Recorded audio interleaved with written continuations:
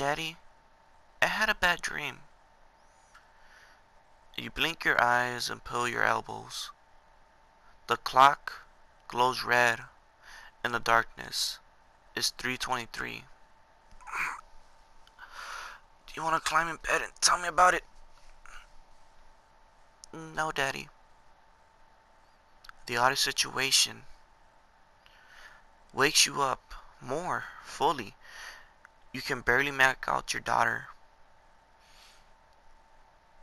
You can barely make out your daughter's pale form in the darkness of the room.